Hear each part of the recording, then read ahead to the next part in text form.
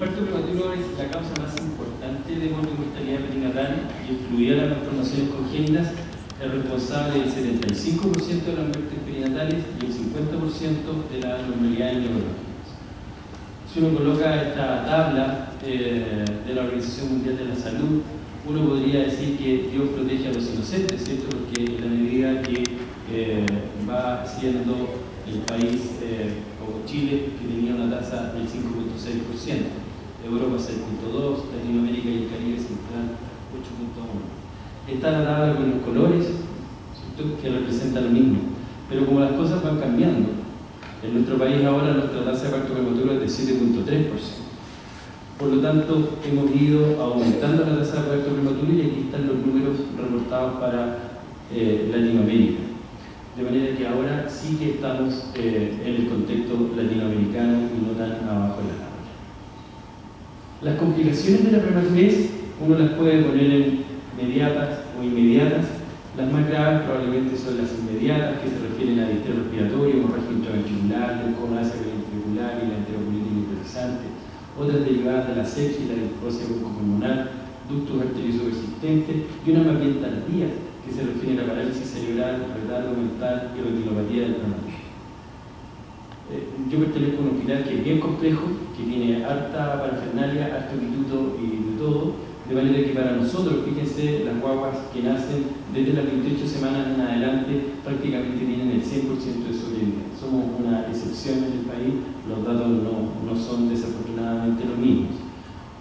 Pero aquí quiero mostrarles que yo les dije que en Chile iba aumentando el parto prematuro, pero ¿qué el parto prematuro que va aumentando? Es el parto prematuro que se denomina tardío, el parto después de las 34 semanas y que tiene que ver probablemente con algo que dijo Ricardo, que de repente hay mucha gente que empieza a eh, diatrogénicamente a interrumpir los embarazos antes de lo que corresponde. De manera mnemotécnica, uno debería decir que el parto prematuro se clasifica en tercios, ¿cierto? Un tercio idiopático, un tercio por ruptura prematura de membranas y el otro causa de causa médica. Ahora vamos a hablar del parto prematuro idiopático.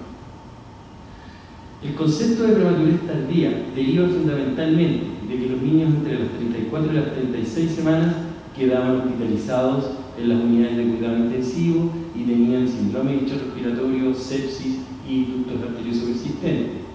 Y algo más, que si uno ponía o grafica entre 34 y 40 semanas, en la medida que va aumentando la semana, va disminuyendo un 23% la mortalidad y la morbilidad. De manera que tiene mucha lógica tratar de avanzar lo más que podamos en el embarazo. Desde el punto de vista etiopatogénico, nosotros hablamos de un síndrome de parto prematuro. ¿Por qué? Porque son múltiples las causas que nos llevan al parto prematuro. Infección intramniótica, isquemia uteroplacentaria, sobreintensión uterina, factores inmunológicos y, por cierto, el estrés. Desde un punto de vista fisiopatológico, los mecanismos del parto prematuro son inflamación, hemorragia residual, sobredistensión y activación prematura de los mecanismos fisiológicos que es la pérdida de la quiesencia. Por lo tanto, como se decía, nosotros llegamos solamente a la vía final común después que tenemos todos estos factores etiopatogénicos. Y aquí aparece paralelo la disfunción cervical. Y por eso es que es tan importante medirle el cuello a los pacientes en riesgo de parto prematuro. Desde el punto de vista de los factores de riesgo, que es lo que nosotros podemos hacer en la consulta, la raza, la población afroamericana, ya dijimos que tiene más riesgo de parto prematuro, edades extremas, situación socioeconómica, nivel educacional y estado nutricional extremo, que tiene los grupos más desposeídos. Ya dijimos que el tabaquismo es un factor de riesgo importante de parto prematuro, pero también está el factor más importante es haber tenido un parto prematuro previo, el embarazo múltiple, la metrorragia del segundo trimestre, la vaginosis bacteriana, que es un factor de riesgo por ruptura de membrana, la bacteriuria sintomática y la cirugía abdominal materna, especialmente en procesos inflamatorios como apendicitis o colicitis. Por lo tanto, nosotros tratamos de predecir el parto prematuro y recurrimos a los factores bioquímicos de predicción. Y aquí está todo el listado de factores bioquímicos que se han probado. Cuando hay una lista de esta magnitud es porque ninguno sirve. La fibronectina, que ya la destrozó Ricardo, ¿ya? Eh, probablemente ha sido un elemento que no ha ido en el sentido que nosotros esperábamos que fuera, porque nosotros nos gustaría que la fibronectina nos aclarara si a la paciente la tenemos que hospitalizar o dejar eh, en forma ambulatoria, pero desafortunadamente la fibronectina no fue en ese sentido. Sí ha ido en ese sentido la medición del cuello uterino. Y recordar que independiente de la forma que tenga el cuello, lo que importa es la longitud. Este es el trabajo de Ayans, que nosotros lo tomamos porque la población que él eligió se parece mucho, como les dije antes, a la población chilena y que tiene los valores de corte en términos del grupo de riesgo, en que se define que un riesgo de eh, un corto cuello de 25 milímetros tiene un riesgo de parto prematuro de 6%, acuérdense que Chile tenía 5, por lo tanto era bastante parecido. Pero aquí retomo el tema de la fibronectina en un trabajo publicado por Ricardo hace muchos años atrás, como 12 ya, ya en que dice que la, la fibronectina mejora la predicción del cuello del útero. Por lo tanto, tomado el cuello del útero en las pacientes con, eh, rotura, sin rotura prematura de membrana y parto prematuro. Es decir, si yo tomo el cervix y además le agrego fibronectina, tengo un mejor predictor. ¿Qué es lo que pasó? Que fibronectina se ha ido separando y ha tratado de ser un predictor único. Y ese no es el sentido. La fibronectina tiene que apoyar al cuello y la evidencia que existe en los trabajos eh, publicados de buena confección, ¿cierto? Es que cuando uno toma estos dos factores, sí puede predecir eh, parto prematuro a las 48 horas, a los 7 días, a los 14, hasta las 32 e incluso hasta las 35 semanas. Por lo tanto, fibronectina sola, no. Fibronectina con ecografía, sí. Otro elemento importante es la la longitud del cervix y el factor de eh, infección intramniótica. Otro trabajo de Ricardo. Y fíjense en esta tabla, en esta, en esta línea más bien. Cuando el cuello mide menos de 15 milímetros y tiene menos de 28 semanas, 45% de invasión microbiana de la cavidad abdominal. Si tiene menos de 30 semanas, 40%. Entonces, a la pregunta, ¿tengo que pinchar a estas pacientes? Obvio que sí. ¿Por qué? Porque yo puedo hacer algo por estas pacientes para evitar que siga el proceso inflamatorio. Lo otro, Juan Pedro Gusanovich, otro doctor que trabaja con nosotros allá en, la Católica, que aquí está la foto 3D, y Ricardo también les mostró el SLATCH. ¿Cuál es el significado clínico de la presencia del SLATCH en pacientes asintomáticas? El riesgo de parto espontáneo, fíjense, aunque el cuello sea mayor de 25 milímetros, sea slash, tiene riesgo de parto prematuro. Por lo tanto, no cuesta nada mirar el cuello y además mirar el slash. Vamos a los criterios diagnósticos. Los criterios diagnósticos son edad gestacional entre 22 y 37 semanas, dinámica uterina 4 y 20 minutos, y aquí hay una modificación, porque antes considerábamos 2 centímetros y 80% borrado, y no saben que la tasa de parto prematuro no cambia porque estamos llegando tarde, y por lo tanto se bajó a 1 centímetro y 50% borrado. Pero hay otro punto importante que es el borramiento y dilatación progresiva. Acuérdense que le he dicho más de una vez, nosotros nos equivocamos cuando no examinamos a los pacientes, por eso que además del ultrasonido cervical en pacientes de riesgo hay que revisar un tacto al ingreso. ¿Cuáles son las excepciones al criterio combinado? Las contracciones uterinas persistentes sin modificación cervical progresiva, infección intramniótica, coito reciente, drogas ilícitas, por ejemplo pasta base, cocaína, o el estrés materno. Y el otro grupo de pacientes son aquellas que se presentan con gran modificación cervical sin contracciones. Esas pacientes tienen incompetencia cervical. Hecho el diagnóstico, ¿cómo los tratamos? Las finalizamos, dejamos reposo en cama, las hidratamos, las sedamos, tomamos algunos exámenes generales para encontrar infecciones concomitantes, por ejemplo, una infección urinaria, un cultivo vaginal y hacer una prueba respiratoria con un perfil o un registro basal. ¿Cuál es la evidencia que hay para hidratación y sedación? Tiene que ver con estudios en animales en que la hidratación inhibe la liberación de ADH, que es el mismo lugar donde se produce la oxitocina, en un reflejo que se llama Henry. Sin embargo, la literatura no da soporte para el uso de hidratación y sedación en el tratamiento inicial del parto prematuro. ¿Por qué lo hacemos? Porque hay muchas pacientes que se estresan con las contracciones, que están deshidratadas y por eso que les dejamos una hidratación. Por lo tanto, ¿cuál es nuestro protocolo de manejo? Primero, el diagnóstico. el criterio combinado. Diagnóstico, contracciones uterinas más modificación cervical.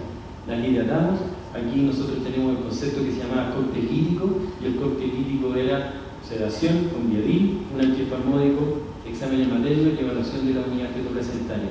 Biometría, no cuesta nada, perdón, hacer la ecografía. Dejar tocolíticos y corticoides, van de la mano. Acuérdense que la NIH dice, si usted tiene razones para dejar tocolíticos, tiene razones para dejar corticoides. Y aquí, recordar el trabajo de Ricardo, ¿cierto? Cetix de menos de 15 milímetros, realizar la amniocentesis. Si tiene infección, interrumpa el embarazo. ¿Por qué? Porque el prematuro infectado es peor que el prematuro solo. Y si no tiene infección, vaya al tocolítico de segunda línea. Pues bien, ¿qué tocolíticos usamos? Aquí están todos los tocolíticos que podemos usar. Betamiméticos, sulfato de magnesio, bloqueadores del calcio, la indometacina que ama Ricardo, los antagonistas de, lo, de oxitocina, del receptor de oxitocina, progesterona en altas dosis y alcohol etílico. Aquí está una figura robada, por supuesto, de Jorge Carvajal, de un eh, fondo que hicimos, donde tratamos de poner en cada vía el eh, tocolítico y cómo funcionaba. ¿Cuál es la eficacia de los tocolíticos? ¿De qué está ¿Ah? No, no, se les La eficacia de los tocolíticos. Miren, ¿por qué gana el nifedipino? Porque es el único que disminuye el riesgo extrarrespiratorio. Por lo tanto, si uno quiere beneficiar a la madre y quiere beneficiar al feto, tiene que usar nifedipino. Los efectos colaterales de las drogas para el nifedipino son bastante leves, para el fenotrol mucho más grave. Acuérdense que nosotros tenemos riesgo de edema pulmonar usamos un betamimético y además sobrehidratamos a los pacientes. Y aquí el riesgo, hay que reconocer, de indometacina es bajo para la madre y eh, solamente en el feto en periodo prolongado, más de 32 semanas, podríamos tener algún otro efecto. Por lo tanto, en la era de los rankings, si yo quisiera hacer un ranking de topolíticos basado en la evidencia, lo primero es el nifedipino, el segundo es la tóxima, el tercero es indometacina, el cuarto es el metamimético y quinto es el sulfato de magnesio. Probablemente la tóxica, por el tema de costo, sale del listado, ¿cierto? Y sube la indometacina en su reemplazo. ¿Cómo administrar el nifedipino? Dosis de carga de 20 miligramos oral, repetimos cada 20 minutos por un máximo de 3 veces y eh, si persiste la dinámica a los 60 minutos hacemos una amniocentesis y si no, la dejamos 10 miligramos cada 6 como dosis de mantención por 48 horas. Pero al final del partido, ¿qué podemos decir de los tocolíticos? Lo mismo que decía la editorial del British Medical Journal del año 79. En mujeres en parto prematuro, el uso de los tocolíticos fue frecuentemente innecesario, a menudo no resulta y ocasionalmente puede ser dañino. Por lo tanto, avanzamos retorno. Los tocolíticos entonces pueden prolongar el embarazo sin mejorar el pronóstico perinatal y con riesgo para la salud de la madre y los tocolíticos deben emplearse con el uso concomitante de corticoides para mejorar el pronóstico perinatal. ¿Qué medidas efectivas tenemos para tratar de mejorar el pronóstico de los recién nacidos? Primero, la profilaxis antibiótica de estreptococo, los corticoides antenatales y la neuroprotección con sulfato de magnesio. El sustento del screening universal es que comparado con factores de riesgo disminuye el 88% la incidencia de enfermedad por estreptococo grupo B. La recomendación de la American College es utilizar penicilina y en los casos eh, o ampicilina y en los casos que eh, haya alergia utilizar clindamicina. Para los corticoides, recordar a Lynn y que publicaron su trabajo en el año 72 el consenso de NIH que dice, y lo puse, se recomienda su uso a todas las mujeres entre 24 y 34 semanas. Yo creo que hay que ser respetuoso de las 24 semanas, porque la, tentación de usar topolíticos, o sea, perdón, corticoides antes de las 23 semanas es grande, pero lo que existe demostración es que a partir de las 24 semanas sí eh, cambia la sobrevida. ¿Qué es lo que hacen? Disminuye el intrarrespiratorio, la hemorragia intraventricular, la enterocolitis necrosizante, la mortalidad neonatal. ¿Cómo usar? Benametasona, 12 miligramos cada 24 horas por dos dosis. Un esquema alternativo puede ser con dexametasona, 6 miligramos cada 6 por 4 dosis. Y se puede repetir a los 7 días si persiste el alto riesgo neonatal. ¿Qué novedad hay entre el 24 y el 26.6? Este trabajo publicado el año pasado, en abril, en el New England, en que Fundamentalmente lo que cambia son las morbilidades, nada que tenga outcome compuesto es bueno a la primera. Y este trabajo tiene outcome compuesto, por lo tanto nos mejora el pronóstico, pero no nos mejora tanto el pronóstico. Pero sin embargo, este, esta, es la parte que probablemente sostiene estos corticoides, que son la taquipnea transitoria del recién nacido y el síndrome de estrés respiratorio, que aquí eh, para la taquipnea transitoria tuvo eh, una estadísticamente significativa, sin un riesgo mayor en la madre. Por lo tanto, en pacientes entre 34 y 36,6, uno eh, que interrumpía efectivamente, uno podría pensar en administrar corticoides. La neuroprotección con sulfato de magnesio es un gran, gran aporte. Toda paciente que se interrumpa el embarazo antes de las 32 semanas debe utilizar sulfato de magnesio, que lo utilizamos igual como lo utilizamos en preeclampsia, 5 gramos de carga, o si ya pasas la carga y el pabellón se atrasa, lo dejáis con 2 gramos hora hasta el momento de la interrupción uno debe tener en su mente, y de manera aristotélica me gustó ese concepto, un algoritmo en su mente. ¿Por qué? Porque uno tiene que seguir caminos. Si uno tiene un parto prematuro y le dan las medidas generales y le resulta, solo observa a la paciente. Si tiene, no le resultan las medidas generales y tiene dinámica uterina con cervicales, eh, modificaciones cervicales que progresan, va a las medidas específicas. ¿Cuáles son las medidas específicas? Dejarle eh, los corticoides y los tocolíticos. Si no se frena, la pincha. Si está infectado, la interrumpe. Si no está infectado, va al tocolítico de segunda línea. De manera que, y si la, no es capaz con el tocolítico de segunda línea de detener el parto prematuro, lo prepara para el parto y le deja el sulfato de mesa. De manera que tienen que tener un algoritmo claro de qué hacer. Otras medidas generales que tienen que ver con el control prenatal, suspender el tabaco, disminuir la actividad física, tratamiento de bacterias sintomática, manejo de la enfermedad periodontal. Yo creo que la enfermedad periodontal, como que todo el mundo la ha mirado eh, con desdén porque los trabajos fueron mal hechos, ¿no es cierto? Metodológicamente los trabajos no están bien hechos y no disminuyen la enfermedad.